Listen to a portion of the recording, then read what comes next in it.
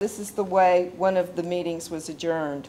Elizabeth told Paul in front of God and everybody that she will, quote, "give him anything he wants." On that note, the meeting adjourned. It seemed like a good place to stop that one.